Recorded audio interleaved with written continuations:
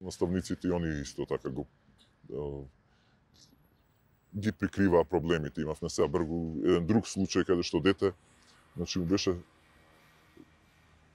исто повредено беше не сега сериозно можам да кажам, ама ама сепак беше скршен зап. И едноставно родителот, нели, на детето што беше беше кажано нели дека е, е повредено неговото дете и така натака. И дека им е кажано на родителот на другото дете што беше агресивно кон тоа дете што го, му го скрши завод е дека е информиран и да превземе мерки.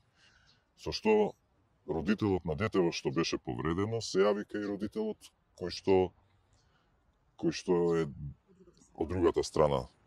И и тој всушност кажа дека не бил ништо информиран, дека неговото дете сушност на своето другарче му го има скршено забот. Така да самите наставници исто така ги прикриваат некои од случаите. Првото интервенирање беше во склоп на на самиот клас А, тука видовме дека наставниците едноставно креваат раце, ние не можеме. Тоа е тоа, ние деме го пријавуваме, го кажуваме кај педагогот, го праќаме и така натака.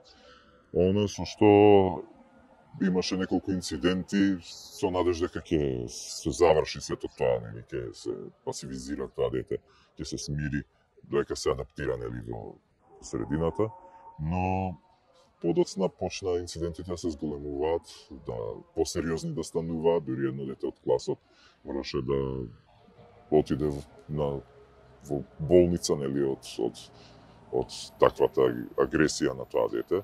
Проблемот е сега родителот на детето, родителите на детето не сака да комуницираат со службите од училиштето. Што исто така демек училиштето е тука немоќно и не може веќе да да оди чекор понатака за, за да го реши проблемот. Со што ние, е, ја и сопругата, комунициравме со родителите, воспоставивме некаков контакт и се обидовме да им укажеме дека е за добро за детето, на нивното дете, па и општо и за целиот клас, да они превземат и да видат што е проблемот со детето. Така да они после тоа почна да соработуваат и и превзема нели потребните мерки на тие евалуации, не знам какви психолошки и така натака кај стручни служби за да за да се одреди одредена диагноза за детето како да се постапува понатак. Со што така всушност со наша интервенција како родители ние е, го решивме проблемот.